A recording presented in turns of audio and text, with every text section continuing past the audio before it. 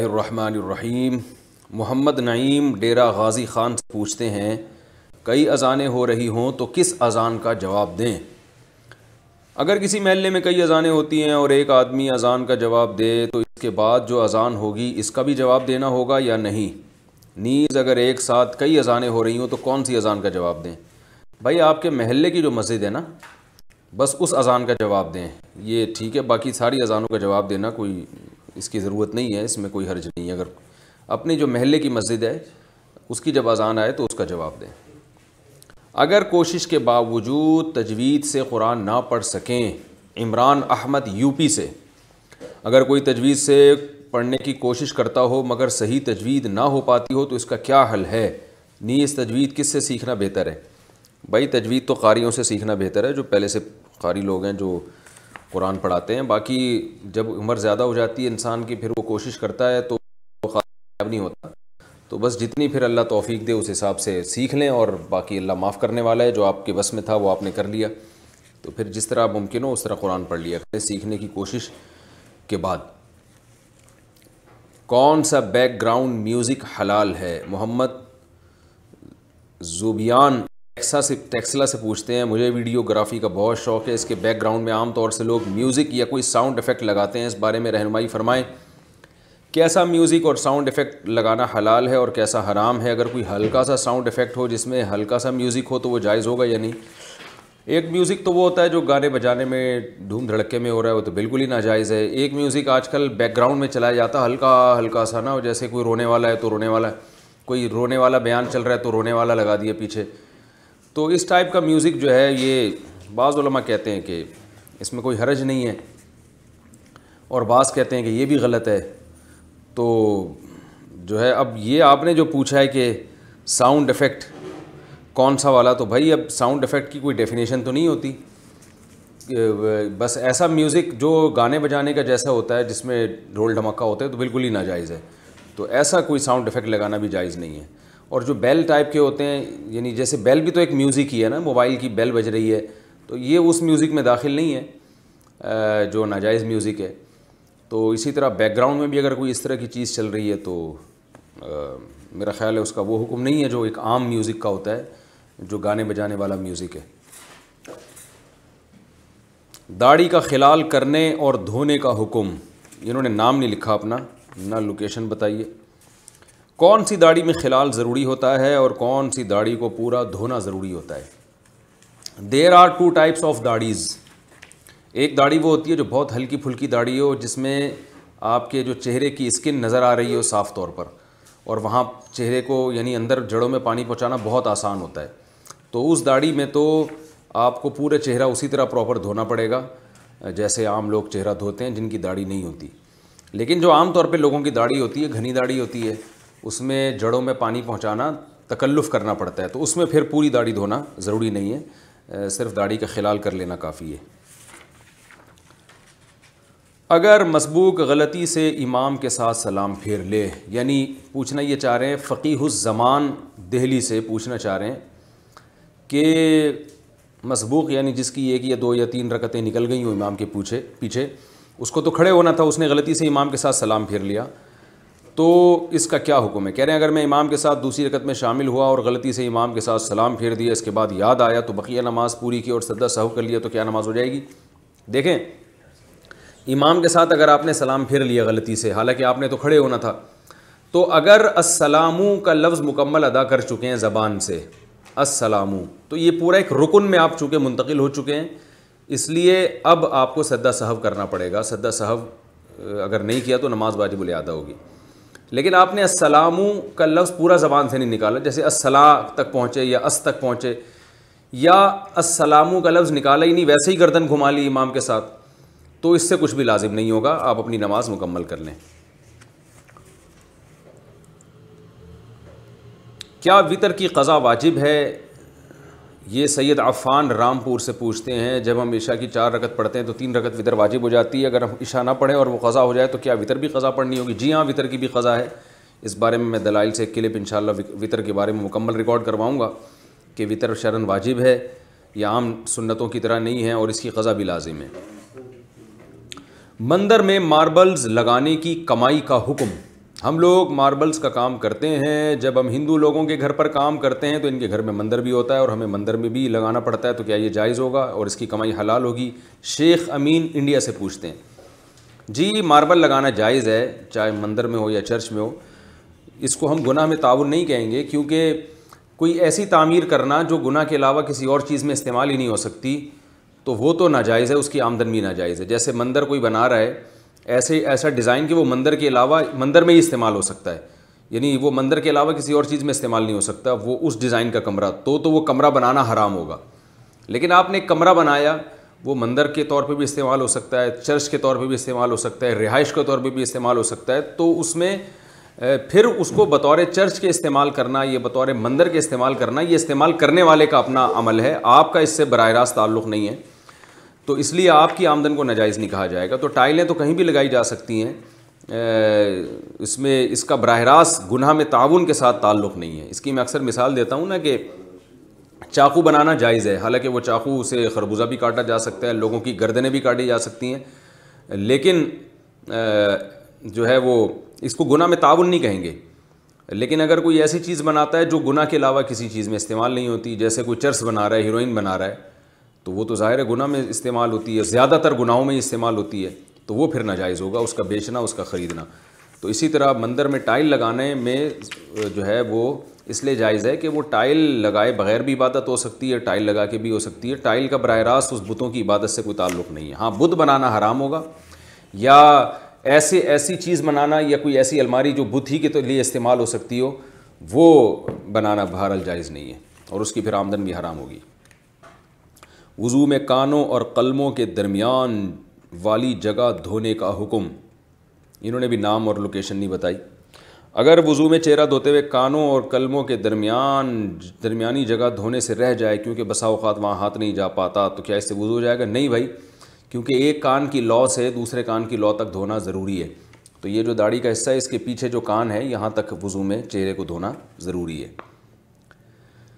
محمد سہیل احمد محمد سہیل احمد آباد سے پوچھتے ہیں، اگر دعائے قنوت پڑھنا بھول جائیں وطر میں تو کیا کریں؟ وطر کی نماز میں دعائے قنوت بھول جائیں تو کیا سدا صحب کرنا واجب ہوگا؟ یا دوبارہ دہرانی ہوگی نماز؟ نیز، کیا دعائے قنوت کے علاوہ کوئی اور دعا بھی پڑھ سکتے ہیں؟ وطر میں کوئی بھی دعا پڑھنا واجب ہے، دعائے قنوت پڑھنا سنت موقع ہے، تو اس کا معمول بنا لینا، دعائے قنوت چھوڑنے کا یہ ٹھیک نہیں ہے۔ لیکن اگر دعائے قنوت چھوڑ گئی اور اس کی جگہ کوئی دوسری پڑھ لی تو بھی واجب ادا ہو جائے اور اگر کوئی بھی پڑھی ہے، تو نماز دوبارہ پڑھنی پڑے گی۔ دعائے ہو جائے گی۔ یہ پوچھتے ہیں یا پوچھتی ہیں، واللہ عالم، نور مردوں کا نام بھی ہوتا ہے، خواتین کا نام بھی ہوتا ہے۔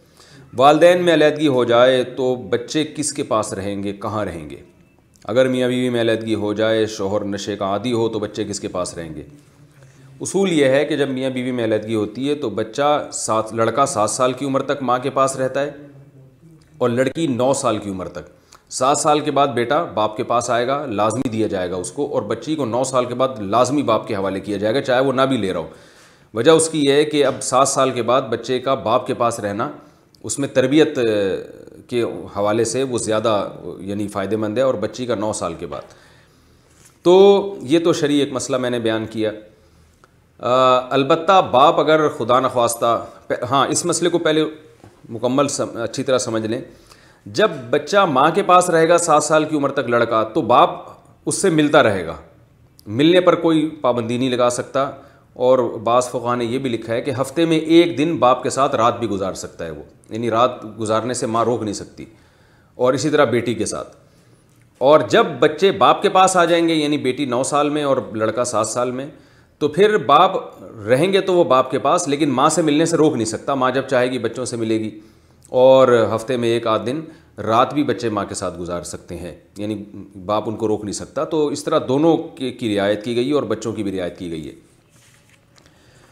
لیکن اگر باپ نشے کا عادی ہے اور اس میں یعنی ایسا نشہ ہے جس سے باپ کی صحت بھی خراب ہو رہی ہے اور پھر تو بچے کے بگڑنے کا بہت اندیشہ ہے کہ ایسا نہ ہو کہ یہ نشہ ہی ہو، چرس پیتا ہے، ہیروئن پیتا ہے اور ایسے نشے کا عادی ہے کہ بچے کا بھی خراب ہونے کا خطرہ ہے تو پھر باپ کے حوالے نہیں کیا جائے گا، پھر ماں اپنے پاس ہی رکھے گی اس کو۔ والدین کی قبر پر سلام کہنے کا طریقہ۔ کیا قبر پر جا کر انفرادی سلام کہہ سکتے ہیں؟ مثلاً والد یا والدہ کی قبر پر جا کر خاص انہیں انہیں سلام کرنا۔ خالد فاروق صاحب انڈیا سے پوچھتے ہیں۔ نہیں، یہ ثابت نہیں ہے۔ میت کے جتنے بھی حکام ہیں، وہ جب تک کہ کوئی حدیث نصوص سے ثابت نہیں ہوں گے، ہم اپنے طریقے سے ان میں تبدیلی نہیں کر سکتے، کوئی رسم نہیں نکال سکتے۔ جب آپ قبرستان جائیں تو عمومی تمام مردوں کو سلام کرنے کا حکم ہے، السلام علیکم یا اہل القبور. لیکن الگ سے والدین کی قبر پہ جا کے ان سے سلام کرنا یا باتیں کرنا، یہ ثابت نہیں ہے۔ بس جائیں ان کی قبر پہ دعا کر کے واپس آ جائیں۔ کیا عمرہ کے لیے گھر سے احرام باندھ سکتے ہیں؟ مسز آصف بحرین سے پوچھتی ہیں، کیا عمرہ کے لیے گھر سے احرام باندھ کر جانا چاہیے؟ دیکھیں، احرام باندھنا لوگ سمجھتے ہیں ان چادروں کو۔ وہ چادریں احرام نہیں ہوتیں احرام میں انسان داخل ہوتا ہے عمرہ یا حج کی نیت سے، لبیک اللہ لبیک، لا شریک الک لبیک۔ یہ پورا تلبیہ جب پڑھے گا عمرے کی نیت سے۔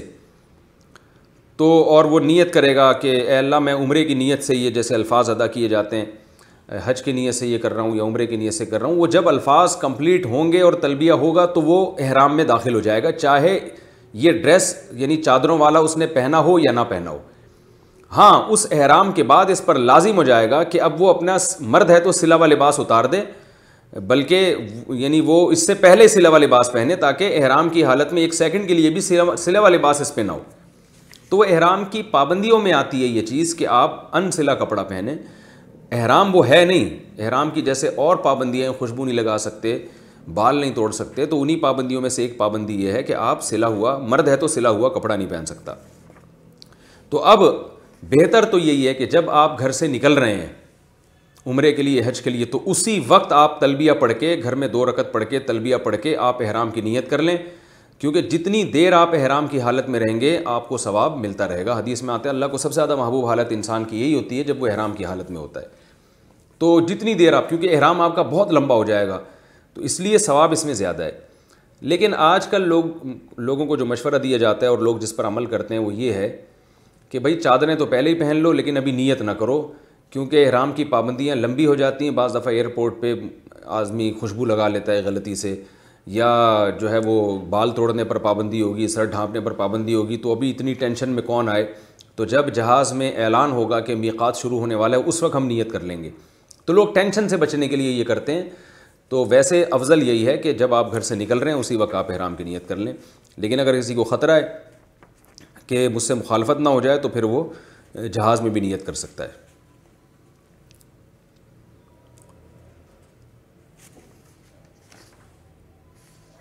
بد نظری سے کیسے بچیں؟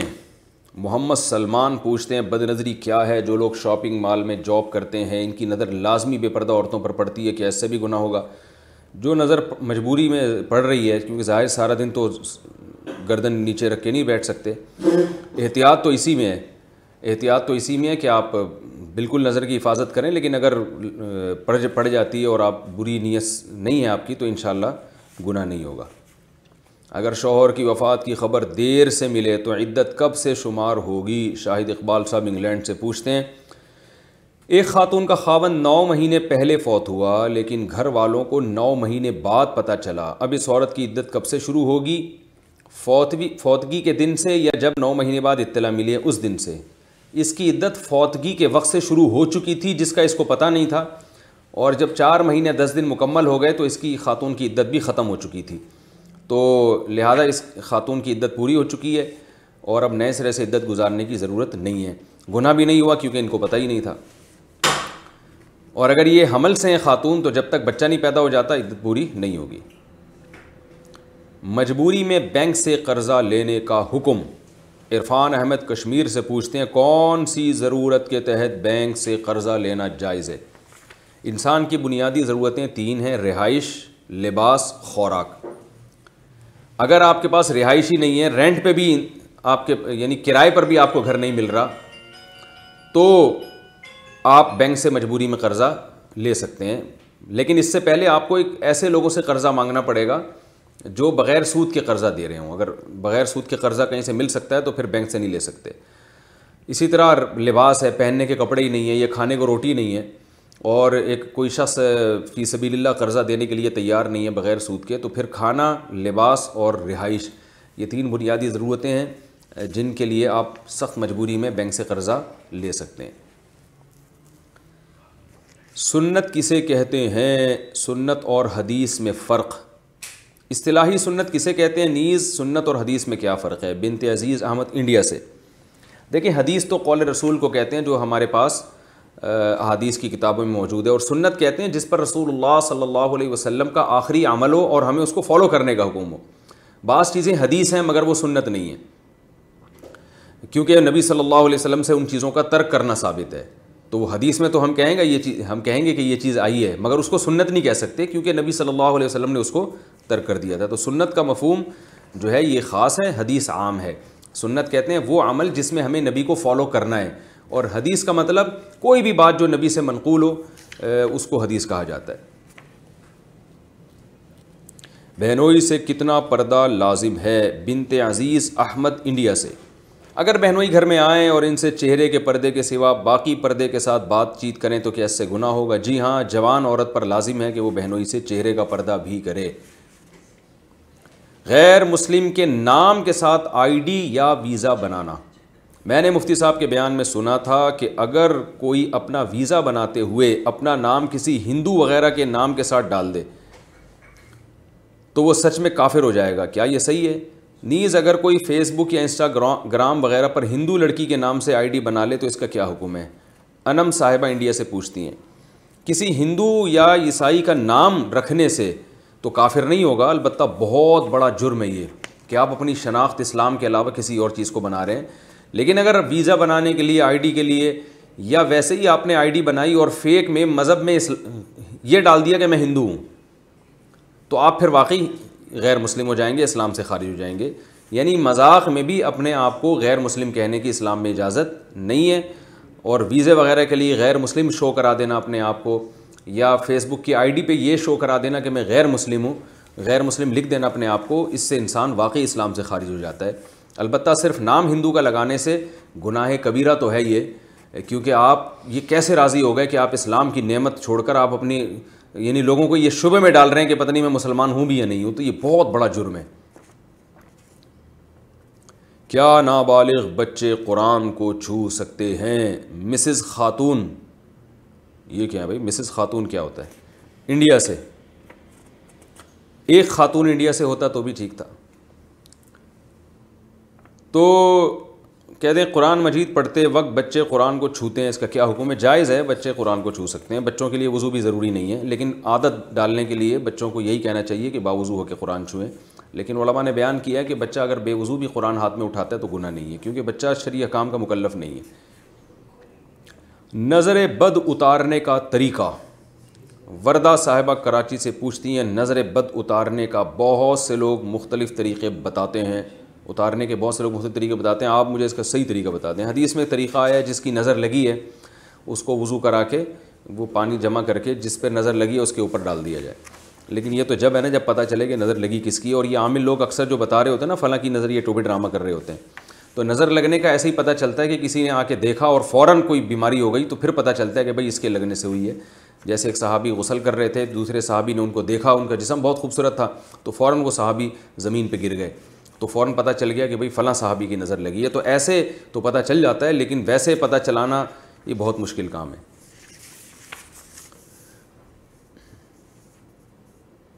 کیا بغیر محرم کے حج ہو جاتا ہے؟ فوزیہ صاحبہ لندن سے پوچھتی ہیں، آج کل خواتین بغیر محرم کے پوری دنیا گھوم لیتی ہیں۔ اگر وہ بغیر محرم کے حج کرنے چلی جائیں تو کیا ان کا حج ادا ہو جائے گا؟ پوری دنیا جو بغیر محرم کے گھوم رہی ہیں تو بھائی ہمارے مشورے سے تو نہیں گھوم رہی ہیں، وہ بھی غلط کر رہی ہیں۔ تو حج بھی بغیر محرم کے جائز نہیں ہے۔ البتہ کسی خاتون نے محرم کے بغیر حج ادا کر لیا تو حج ادا بہرحال ہو جائے گا، کیونکہ حج تو مخصوص ارکان کا نام ہے، لیکن گناہ ہوگا ان کو کہ بغیر محرم کے کیوں کیا۔ اب سوچیں کہ عبادت بھی گناہ کے ساتھ ہو تو وہ عبادت میں کیا برکت ہوگی؟ تو اس لیے بغیر محرم کے حج کے لیے جانا جائز نہیں ہے۔ احرام میں چہرے پہ کپڑا لگنے سے دم کا حکم، بنت آدم کراچی سے۔ عمرے کے دوران چہرے پر کتنا کپڑا لگنے سے دم واجب ہوتا ہے؟ نیز اگر چھوٹا بچہ دوران احرام ماں کا بوسہ لے لے تو کیا اس سے دم واجب ہوگا؟ بچہ تو ماں کا بوسہ لے لے یا ماں نے بچے کو پیار کیا، اس سے کچھ بھی واجب نہیں ہوتا۔ اور کپڑا جو ہے نا، جو چہرے پہ لگا، اگر بارہ گھنٹے تک لگا رہا ہے وہ یعنی آدھا دن لگا رہا ہے اتنی دیر تک، چاہے متفرق اوقات میں یا کنٹینیو تو ایک دن میں اتنی دیر تک لگا رہے گا تو پھر دم واجب ہوگا۔ اس سے کم کم میں صدقہ واجب ہوتا ہے، دم واجب نہیں ہوتا۔ نماز حاجت اور نماز توبہ پڑھنے کا طریقہ۔ مسز عظیم سعودی عرب سے۔ سلاۃ الحاجت اور سلاۃ الطوبہ پڑھنے کا طریقہ بتا دیں۔ یاد رکھیں سلاۃ الحاجہ یا سلاۃ الطوبہ کے نام سے الگ سے کوئی شریعت میں نماز نہیں ہے۔ کوئی کہ بھئی نبی نے فرمایا ہو کہ یہ صلاۃ الحاجت ہے، وہی صلاۃ ہے، وہ آپ اس میں یہ نیت کر لیتے ہیں، میں دعا مانگوں گا تاکہ میری حاجت پوری ہو، تو اس سے پہلے میں نماز پڑھ رہا ہوں، تو وہ صلاۃ الحاجت، لوگ اس کو صلاۃ الحاجت کہہ دیتے ہیں۔ اور توبہ میں بھی یہی ہے کہ دو رکعت پڑھ کے اللہ سے گناہوں کی معافی مانگی جائے۔ تو یہ یہی نماز ہے جو دو رکعتیں ہم عام طریقے سے پڑھتے ہیں، یہ کوئی الگ سے نمازیں نہیں ہیں۔